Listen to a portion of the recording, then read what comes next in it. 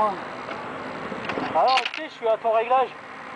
Au niveau de la poignée, euh, je suis trop près. Ouais, je t'ai vu faire un tout droit, c'est pour ça. C'est parce que moi je suis sorti tout à l'heure que toi aussi faire.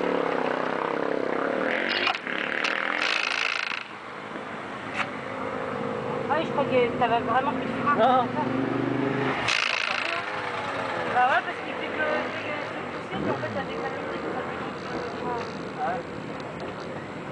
Ah, c'est la seule qui arrive à nous. Hein seule qui arrive. Ah, au-dessus de nous.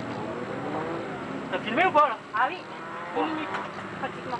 Tu m'as filmé de bah oui.